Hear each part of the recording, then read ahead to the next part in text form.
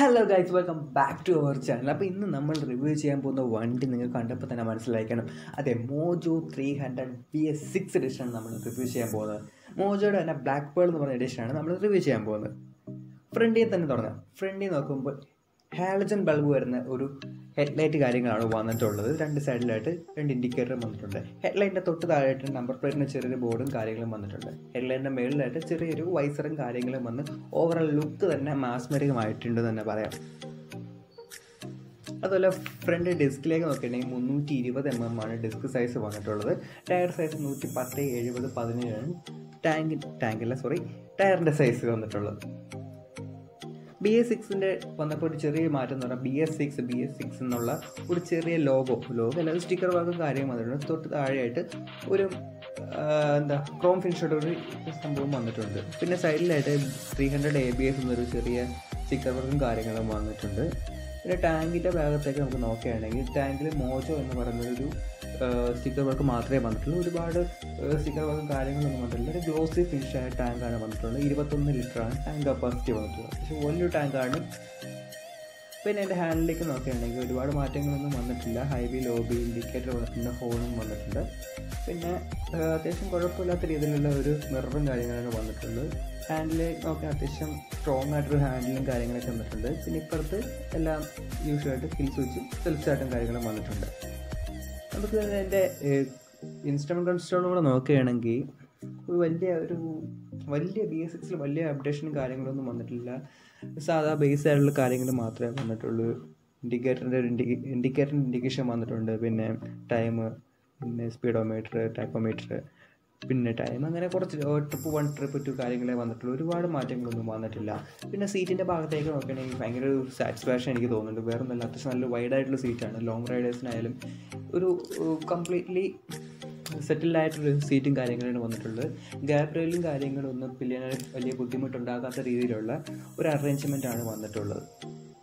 പിന്നെ എഞ്ചിന്റെ ഭാഗത്തേക്ക് നോക്കുകയാണെങ്കിൽ ഇരുന്നൂറ്റി തൊണ്ണൂറ്റി നാല് C C liquid cooled forward single cylinder D O H C എഞ്ചിനാണ് വന്നിട്ടുള്ളത്. സിക്സ് സ്പീഡ് ഗിയറും കാര്യങ്ങളൊക്കെയാണ് തന്നിട്ടുള്ളത്.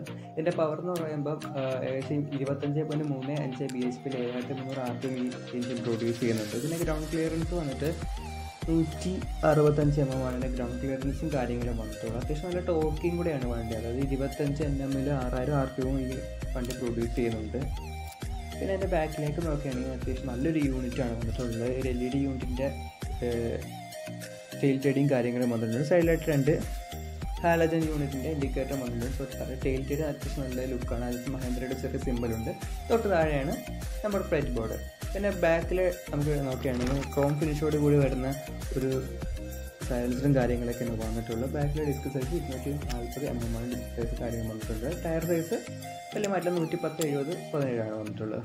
പിന്നെ ഓവറോൾ ലുക്ക് നോക്കിയാൽ തന്നെ അറിയാം അത്യാവശ്യം നല്ല ഒരു രക്ഷയില്ലാത്ത ലുക്കും കാര്യങ്ങളാണ് വന്നത് അടുത്ത എന്തായാലും നമുക്ക് മോജോ ത്രീ ഹൺഡ്രഡ് നമുക്കൊന്ന് ഓടിച്ചു നോക്കാം. ഓടിച്ചു നോക്കിയിട്ട് എങ്ങനെയുണ്ടെന്ന് ഞാൻ പറയാം. എണ്ണൂറ്റി പതിനഞ്ച് എം എം ആണ് ഇതിന്റെ സീറ്റ് ഹൈറ്റ് വന്നിട്ടുള്ളത്. എന്നെ സംബന്ധിച്ച് തൊണ്ണൂറ്റൊമ്പത് ശതമാനം എനിക്ക് കാൽ കുത്തി നിൽക്കാം. എന്നാൽ നമുക്ക് വണ്ടി ഓടിച്ചു പോകാം ഇനി. കൂടെ ചെക്ക് ചെയ്ത് കളയാം.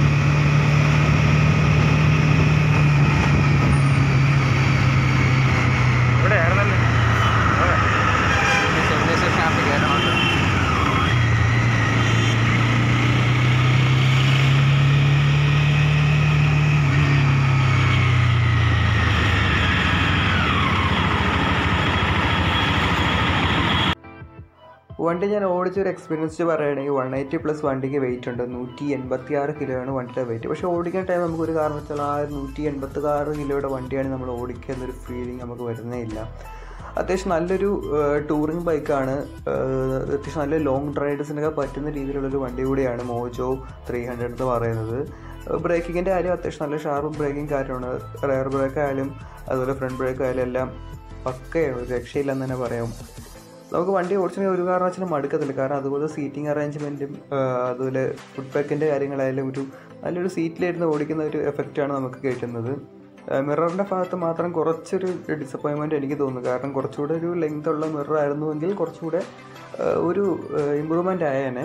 അത്യാവശ്യം കുഴപ്പമില്ല എന്നാലും മിററിന്റെ ഭാഗത്തും. പക്ഷേ വണ്ടി അത്യാവശ്യം നല്ലൊരു പവർഫുൾ വണ്ടിയാണ്. അത്യാവശ്യം നല്ല ടോർക്കി വണ്ടിയാണ്. നേരത്തെ പറഞ്ഞ ഒരു ഇരുപത്തഞ്ച് എൻ എമ്മിൽ ആർ ആർ ആയിരത്തിനും കാര്യം പ്രൊഡ്യൂസ് ചെയ്യുന്നത് പക്ഷേ നല്ലൊരു ടോക്കിയും കൂടിയാണ് Mojo three hundred A B S എന്ന് പറയുന്ന വണ്ടി. ഒരു രക്ഷയില്ല ബി എസ് സിക്സ് വന്നപ്പം.